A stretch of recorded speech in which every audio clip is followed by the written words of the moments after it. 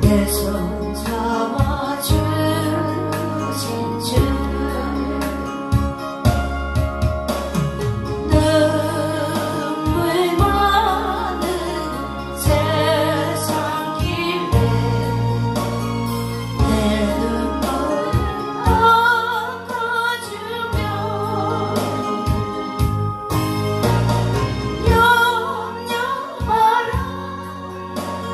You.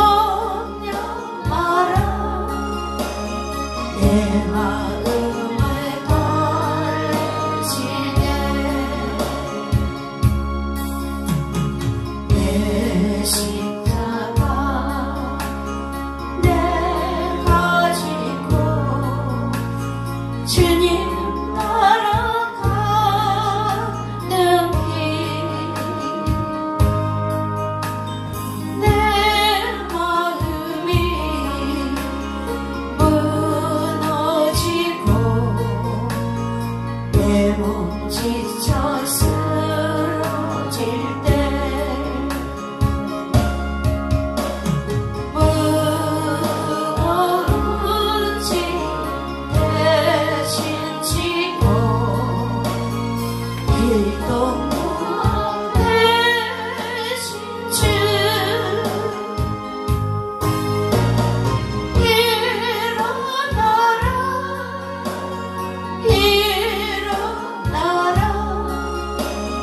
내가